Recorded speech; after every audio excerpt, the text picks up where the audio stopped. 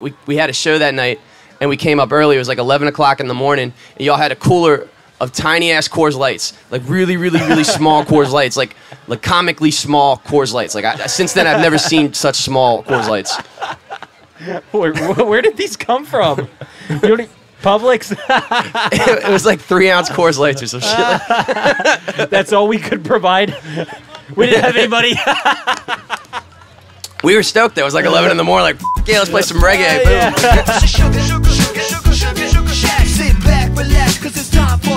Podcast. What's up, everybody? We're back with another episode of Sugar Shack Podcast, live from Reggae Rise Up 2022 in St. Petersburg, Florida. How's everybody feeling out there right now? Are you sleepy? I see somebody chilling on a chillbo. You got a chillbo or a knockoff chillbo? It's nice. It's like, eh, whatever it is, yeah. Um, thanks for joining us today. Welcome to day two. I'm sitting down with Brandon from Bumpin' Uglies. Welcome, dude. Thanks for having me, man. How's it going? It's good. It's good. Beautiful day. It is. It is beautiful. Um, so we were just talking before the podcast. You got in on Tuesday earlier this week. Today is what Saturday. Mm-hmm. Uh, what, what what have you been up to? Got here early. You're doing some new stuff. So we we just finished a record last December, and uh, we were filming videos to uh, to put out with the record. Nice. Yeah, we're in that uh, in that content production form of the album cycle. Cool. Uh, it was fun because we were still setting up and getting things dialed in. We just saw like, I don't know how many people do you think were over here yesterday? The- uh, I'd say roughly 200 people. yeah, it was all the stuff. It was like 200 people out of nowhere, and, and there you guys were, and that was cool, man. What you guys were filming a music video? Yeah, so that was just one shot for um, for this new song, and it has this big uh, this big vocal hook of like O's, like oh oh oh. So the the director thought it would be cool if we just got a gang of people to follow me singing the singing the hook, and what better place than at a music festival to find a gang of people to sing something? That's awesome. Yeah. Oh, sick, man. Uh, well, thank you for taking some time. I know you guys are all over the place, but really cool to sit down with you and just share for a few minutes and hear your heart. But um, I've been personally excited about this conversation. I haven't told you this yet, but you know, my background is I've always grown up as like an emo, punk, hardcore kid, right? Um, and there were only two genres growing up that I just did not like to listen to, and that was mainstream country and reggae. and and I remember meeting some of the uh, Sugar Shack guys and getting involved and and just like how am I gonna how am I gonna do this? You know what I mean? And I'll never forget. I was working at my old job. I was a coffee roaster, and I'm in this hot, sweaty warehouse, and I'm roasting coffee, and I'm trying to get into some reggae, and a Bumpin' Ugly song comes on, and it hooks me. And I want you to know, dude, that y'all's music was the gateway for me to get into reggae music. And um, and now I'm actually a legit reggae music fan, and my heart's opened up and warmed up to it. And it all started with a tune from Bumpin' Uglies, dude. I think I think it's because Bumpin' Uglies isn't really reggae. It's like reggae adjacent. We're like a gateway Yes. drug to reggae. Yes, you And are. I actually come from a big like emo background as well. Right. Like when I was just, like so like when I started playing guitar, I was like learning dashboard confessional songs. Sick. Like that was Some like screaming dude, infidelities and yeah, hands down, all that, down. all that. I was just 17 and sad, and I had a guitar. And like, like us all, right? yep, yep. Um, But I mean, in saying that, bro, thank you. You know, thank you for uh, the music that you create. You know, in the niche that you fit into, because um, you know you did it for me, and I think it was critical for me in in my role and kind of stepping into my involvement with Sugar Shack. You know, because we're so prominent in the reggae scene. So just the fact that uh, you write music and you created music that hooked somebody like me and was that gateway drug into the genre uh, meant a lot to me. And so, thanks, bro. I, I appreciate it. I love to hear it, man. Thanks Yeah. for sharing that. Um, talk to me about that. I mean, you know, your background and the type of music you create it is this kind of mashup genre mashup. Uh, what's your heart behind that? Well, so for me, like first and foremost, I just I've always been into songwriters, like more than like it. I kind of like really stumbled into the whole reggae thing. Like I I started this band when I was 21. It's my only band I've ever been in, and I was just super super into Sublime. And I was like, well, we were like a three piece. I was like, that's let's let's just do that. Let's like start there. Yeah. But like I grew up listening to. Like the, the reason I started, I wanted to start writing songs was uh, Ben Folds. I don't know if you're familiar with Ben Folds Absolutely. but like I was always very much like I just loved like to me he's like kind of like the triple threat because he's like a he's a clever lyricist, he's a Yep. shredding pianist, Yep. and he's a great vocalist. But then the way he writes the lyrics, um, they're smart but irreverent, and they, it, he just Yeah. he's always poking fun at himself. It's not pretentious, Yep. you know. So like that just that just to give you an idea, like that's like where my head's at as a songwriter. Like I want to I want to write clever stuff that that's fun, you know. Yeah. And then and then I just stumbled into this whole reggae thing, you know, and I I, it, it, I loved it. Like to, to so like to me like the Sublime thing, I don't even think of Sublime really as a reggae band, more as like a hip hop band and a punk band. Sure. You know, it's like they like I, I really don't even think you could put a Sublime record on and find a run a one drop. It's like mostly like boom bap drums and then like like skate punk, you know, and then they got Mm-hmm. Yeah. the dub elements and stuff. So for me, it was just yeah, like I, it just drew me in, like as, as being a big fan of hip hop as well, like just kind of doing that whole thing and then writing songs over it. And 15 years later, here I am. That's awesome, dude. Uh, when did when did you guys form? Like, how did Bumpin' Uglies form, and when did it form as a band? So initially, I was like right out of high school. I started I started waiting tables. Like all my friends went to college, and I was like, nope. And I started working in a restaurant, and I did that for a few years. And you know, like like right out of high school, I'm like, you know, you're making like 150 bucks in a night. You're like, hell yeah, I can do this the rest of my life. You know, it's like the most money you've ever had. Three years of that, you're like, no, Right. I am not waiting tables the rest takes of my its life. toll on you, bro. It really does. Yeah, so I, I started uh, I started going back to college, but at the same time I was I had just turned 21 and I started hitting open mics, and the restaurant I worked at had an open mic, and my manager just heard me covering like Wonderwall and Say It Ain't So, and he's like, "Bro, let's start a band." And we uh, he was a bass player and he had a PA, and we learned three hours of covers, and we started playing songs around Annapolis, like the city I'm from, um, and I just fell in love with it. I was like, "This is what I want to do." You Yeah. know, like this is this is incredible, uh, and I'm good at it. You know, I was like at that period of my life, I didn't know what I wanted to do, and it's like I just started playing music, and it's like this is I could do this. And This then- is working.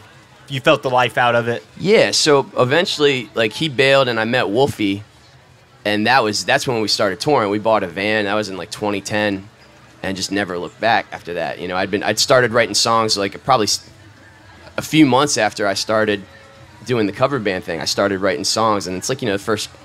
10 or 15 songs were unlistenable, but eventually I kind of found a knack at it. And um, Yeah. yeah, it just, it just kind of went from there. That's awesome, man. Um, let's talk about that. You know, you guys are a DIY band. You're an independent group, and I mean, you you've worked hard to get where you're at. You've had a lot of grit and determination. I'd love to hear your heart on what you know. What are some keys? Maybe share two or three if you've got them. Like maybe two or three tips and tricks. We've got a lot of people that watch the channel. So right now, if you're listening and you're an up and coming artist, even here at Rise Up, you know, if you're uh, a musician, if you're a songwriter, and you're at that critical point where you know it's something that you want to do, you know that it's uh, uh, where what you want to pursue in life, but you don't know really the steps to take or or how to stay committed through the process. I think a guy like Brandon and your band is you guys are a great resource. So, could you just share a little bit of your heart and, um, you know, what are some of the the tips to becoming successful the way that that you have, you know, in an integral way? So, like for starters, your heart's got to be in the right place, and if, if like if you're doing it to make money, like do something else to make money. Yeah. Because you're not going to make money for a long, long, long, long time. Like you have to be resilient and really want to do it. And then if if it is what you want to do, then you just it, you have to try to outwork everyone else, and you have to be willing to reinvest pretty much everything you make for a long time just to, to continue doing what, what needs to be done. Um, I'm a huge believer in just touring. Like like that's kind of how we did it. Like we, we y- you're not gonna if you just sit around your hometown and try and get like like something going for yourself, you're gonna have to get very lucky. I think like mm-hmm. you're gonna have to just like naturally have something go viral or something like that. Right. Other than that, like the only way to go out and create a buzz is if you're independently wealthy and you can just buy marketing Just do whatever you want. yeah, eh, like if you have money, if you have like unlimited money for marketing, then whatever, you can sit at home and do it. Otherwise, you need to go out and touch the people, Yeah. and tour, Yeah. and it's gonna suck. Like unless like unless you have a connection and like someone's gonna put you on their tour, um, which once again you can sit around and wait for that to happen, or you can book your own tour and you can just go out and do it. And it's like I mean, that, the entire punk rock like like industry. That's like the the business model. There's like Yeah. a whole the whole entire world of uh, bands that are just touring on a small like basement level shows, like just crazy DIY shit. And it's not glamorous. It's not like like a reggae festival like this, Right. But it's honest. And there's people who are like music enthusiasts that you will meet there, and th- those are the kind of people that are going to come to your sh- like if, if you make connections with those people, they're going to come and support you forever. Mm-hmm. And it, once again, like it is not glamorous, and it's not like it's not the big production and the big party and stuff. But like if you really want it, like that's that's how we did it. You Yeah. know? And there's a million different ways to skin a cat, but that would that would be my my biggest advice is just So what what is that step like? You know, you you're at this place, you've got music, you're local, and then how do you how do you make that jump like to getting on the road? I mean, shit for like. so when I started doing this, I was selling weed, and I stopped selling weed because I started like freaking out about selling weed. Yeah. And I was buying a quarter pound at a time, right? So I had my nine hundred dollars for my re-up, and I took my re-up money. I see you shaking. I don't know if this is bad to talk about. It's great. I love uh, it. I took I took my, my I took my re-up money and I bought a PA. I took like that was all the money Hell I had, and then we started doing bar gigs, and then Yeah. we would play bar gigs and make like three hundred to five hundred dollars a night, and I would pay my guys like whatever I could pay him, like fifty bucks a night, and I reinvested all that money, and we would go and record music for that with that money. Yeah. And after a few years, we had enough money to buy a van, and it was a very shitty van. It was the one our album Free Candy. That was our first tour van, and it was like rusted and very unreliable. But it got us from Yeah. place to place, and we would break down and shit. But like, it got us around. So we had a van, and then once we had a van, I just started. Uh, I mean, this is like 2011, so the, the whole climate has changed now. But I would I would just Google music venues in towns, and I would cold call them. Like, there's a website Wow. called Indie on the Move that'll um, show you places that do small shows and shit. Um, this is back in MySpace. Still right now, up indie on the move is you don't know. I've had now. a proper booking agent for about five years Yeah, now, so thank you God. don't I know don't- you're out of the scene. But I like think- I want to know. I think indieonthemove.com is still a thing. I would Okay. check it out. And um, but yeah, I mean, it's just yeah, you, you can you can. I, I would look at other bands' tour flyers, like small bands, and see like where they're playing, and then call those places up. Wow. Just, it's like truly, it, it, it was just a. It was. It's just all about resilience. Like Yeah. you just have to be willing to like, all right, that didn't work. Well, I'm gonna try this, and then you know, just go down the line, and eventually, after 30 things fail, you find a way to book a show. what fueled that resilience for you? Like when it was hard, you know, and you just you keep going, you keep going, you know. When you don't see results for a long time, what is it that fuels it for you to keep going? Well, I, th- I think a lot of it was I was young and I didn't have anything else going on. Like this is what I was doing, you know. So Yeah. like there's like that survival instinct, and I really, really wanted to do this. And like a, a a lot of it stemmed from self confidence too, where I felt like I'm good at this. Like this mm-hmm. is like, like what I have is good. Like I could do this, but I just need to get to a certain point, you know. Yeah. It's it's it's really you got to believe in yourself and invest in yourself, you know. I That's think. awesome. Um, along the way on your journey, uh, at some point you met up with Sugar Shack, Yes. and I know you go way back. So tell me about your origin story with Sugar Shack as a band, and when what was the first Sugar Shack experience, or I guess it would be fun to know when was the first time you heard of Sugar Shack?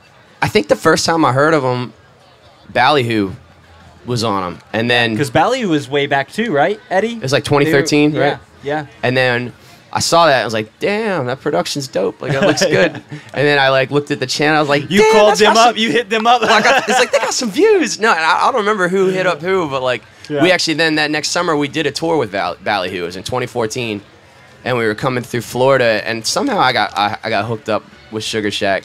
I can't. oh, Spence. Did I hit you up or did you hit me up? Hell yeah. Well, yeah. Either way, it's like we linked up and you're like, we are like, you're coming through. Come. Like, so one come- of Spence's homies hook, connected you guys together. Yeah, dope. I just remember distinctly, like this is back when I was still drinking, and we, we, we had a show that night, and we came up early. It was like 11 o'clock in the morning, and y'all had a cooler of tiny ass Coors Lights, like really, really, really small Coors Lights, like like comically small Coors Lights. Like I, since then, I've never seen such small Coors Lights. Where, where, did these come from? you e- Publix. it was like three ounce Coors Lights or some shit. Like, That's all we could provide. We didn't have anybody. we were stoked. Though. It was like 11 in the morning. Like, fuck yeah, let's play some reggae. Yeah, Boom. Like, It's so funny. And what was that like? I mean, that's a while ago, but what was your experience like getting to the shack and I loved it. I mean, at that point, that like still to this day, like some of our most viewed content on YouTube is, is Shack stuff, but like specifically then, it was like, whoa, this has a reach. Like this Yeah. is cool. Like everything about this is cool. Like we were able to use those videos to like pitch to festivals and stuff. Like this is what we sound like. wow? Um, it, you know, it's it's a big deal when you're when you're like a, a independent band and you're struggling and stuff. Like having pro- professional production, like professional video, professional audio, like everything. Like shit's expensive. You all know it's expensive to produce that. Like it is. Yeah. It's something that I think makes Sugar Shack so special that we provide that to artists. You know what I mean? And and I think that's what's unique too. That when when these guys see something unique, you know, and and you guys at the time to say, let's do it. Like let's push them. It's like you've been hustling, you've been working hard, and that's what the team looks for. They want to see that resiliency, that tenacity, that like I'm serious about this and I'm giving my life to this. And I think that's one of the key components for us that say, all right, let's get him to the shack. You Yeah, know? absolutely. And uh, it's a rite of passage in a way. You know, you got to be hustling. You know, so that's awesome, man. Um, you mentioned you mentioned a, a moment ago just that you know you said uh, when I was still drinking. So you're not drinking right now. You, you mentioned off off mic that you're two years. Yeah, sober? it's it's about two two years and, and a few months roughly. what what brought that on for you? So I got a I got a DUI that was it was a bullshit DUI. Like I ended up I got it because I wouldn't blow right, and um, so they they took my blood. It ended up coming back with no um, booze in it, but it's still at that point it had cost me like three grand. I was Yeah. leaving a gig, so it was like I'm leaving work, and I thought I was responsible, and I'm losing all this money. So I was like, I'm gonna take a year off because I you know I'd always drank. I I enjoyed drinking, and it's like with playing music, it's everywhere. Yeah. So I was just like, I'm gonna take a year off and see where I land with this. And like I, I lost like a decent amount of weight. I just like felt better. And then the two key components for me were I'm I'm better at music. You know. Our podcast. Does that mean it's over? but Oh, dialed the Sugar Shack intro music. it's like, and you're done. It's like the hook, like. Um, but yeah, like the, t- the two the, the two biggest reasons for me, like really that I, I kind of stayed off it was like so we record all our sets. So I had all these sets from when I was drinking, and I always like really prided up pr- prided myself on like keeping it together when I would be totally in the bag. But like I would listen to recordings from us when I was drinking and when I'm sober, and it's like while I got the job done when I was drinking, when I'm sober, I was like on the whole time, like Yeah. never never faltered. And it's like I got to this once again, like I've been doing this for 15 years, and I'm at this level now that it's like pretty cool, and I it could get cooler. So it's like I'm very competitive, and I want to I want to get to the best of myself, and if I'm not going to get there, I don't want to be because I was liquored up, you know. Yeah. So that was a big thing. And then another thing is like I became a father, and I just you know like I kind of like the idea of my kids not like seeing me all fucked up, you know. Yeah. Um, so like, I, it's it's one of those things. Like, I, I'm not an alcohol. I learned I'm not an alcoholic, Mm-hmm. but at this point, like after that year was up, I was just like, I'm gonna I'm gonna just continue to to go down this road and just see where it takes me. And you know, if I ever feel the need to do it again, I will. But for Sure. now, I'm I'm just gonna try to take over the world. You know. Thank you for sharing that. And I know that's a that's a personal question and it and it takes a lot to talk about it openly, but I think it's an important one, you know, and we were talking off mic beforehand and I have a similar story where it was getting to the point where alcohol was controlling my life, you know, it, and I was using it as an escape and mm-hmm. I just found that it was everywhere all the time. And um, and it became a very toxic habit for me and and so as I have distanced myself from it, and I'll I'll drink occasionally here. Like obviously we're at a big music festival, but man, I've gotten so much more healthy, clarity of mind. I mean, I I lost weight too. I got started eating better. It just became this push holistically, you Yeah. know, of a of a of a well-rounded approach to life, you know, and um, not to say that people that consume alcohol can't control it or that it's that it's bad in moderation, but I think in our industry, man, it just it can become something that takes over if we're not careful, you know. Well, yeah, and the thing is too with like what I do, and like I have all these songs about drinking and shit, and like I'm in a new city every night, so it was like, pretty when I was drinking, everywhere I would go, people would want to have a drink with me, so it was like it be, it became much harder to be like, I'm not drinking this night. Okay, I'll drink this night. It's just Yeah. easier to blanket statement. Yeah, I'm on not- the wagon. Sorry, yeah, guys. I'll hit that joint, but like I can't. Like, That's awesome, man. Well, back to bumping. I mean, what are you guys up to right now as a band? well, um, just touring until we go insane. Uh, that's Yeah. kind of the, the never-ending Still tour. on it, yeah. That's But awesome. we just recorded this new record that, I, in my humble opinion, is like the best thing we've ever done. Yeah, it's good. Um, we're uh, producing a whole bunch of like music videos so that we can um, just we're really swinging for the fences with the release of it, and um, just trying to market market the hell out of it and just set ourselves up for success. So, just really working to get all that stuff done. Awesome, man. Uh, before we wrap up, anybody got questions out there for for Brandon? Any Q and A? Going once, going twice. Everybody's too tired. All right, fine. Thanks, dude. I really appreciate it um, for taking the time to sit down and, and share what you did. Anything else you'd like to share with with our fans, with your fans? Um, if you're on Facebook, check out our fan group, Uglies Nation. Uglies Nation. It is dope. Hey, I got a question. Where'd the name come from? Bumpin' Uglies. Yeah. Oh man, uh, it's my buddy that like my buddy that I like started when we were in high school together. He was like the fir- like the f- first guy that I, I, I kicked out of the band, but he was also like the guy that like he played bongos. You know, we'd Uh-huh. go down to the to the to the city dock in Annapolis and we'd bust for beer money. And eventually, you know, we were jamming in the basement. We are trying to think up a band name um, that like was memorable and funny and whatever. And he came up with Bumpin' Uglies. We're like, okay. Um, and I wish we would have kept thinking because it's like it's like like no. at, at this point, well, no, I mean, at this point, I, I would never change it. I would never change it. And at this point, it's like I'm not dealing with issues. But those first like seven years when no one gave a shit, it was like, you want us to book a band called what? You want a band called what on our tour flyer? Like, no. like, it just created nothing but headaches. Hell yeah, but the the the the tenacity, the underdog Well- of you know, that's awesome. And that's the thing too is like there was a period where I was like heavily thinking about changing the band name where I was still at a point where I could have. And I ultimately I came back to I was like, fuck that. I should not have to. Like Yeah. don't judge a book by its cover. Yeah. And if you're going to, then fuck you. Like Yeah. you, you get to miss out on our dope music. yeah, hell yeah. Awesome, dude. Well, on that note, that's a great way to end the pod, bro. I appreciate you taking the time. Hey, make sure you're following Bumpin' Uglies on Instagram. Make sure you check out their session um, on the Shack. We got to get you all back to the Shack soon. Yeah, you got new do. stuff. We need to we need to push it. Um, but be on the lookout for that. We're excited about that, and uh, make sure you're subscribing, sharing on YouTube. Follow us on Instagram and uh, Reggae Rise Up 2022. We love y'all. See you soon. We got an awesome day planned, so we'll more on that later. But thanks so much, guys. Thank you, Brandon. Dude, thank you, Appreciate brother. you, man. Yeah. All right. Till next time. Later. Yo, it's a sugar, sugar, sugar, sugar, sugar, sugar shack. Sit back, relax, cause it's time for another podcast. Stranger put that together. Hell yeah, hell yeah. They're so fucking good. I know, bro. We hit him up. We were like, "Y'all want to make a podcast intro?"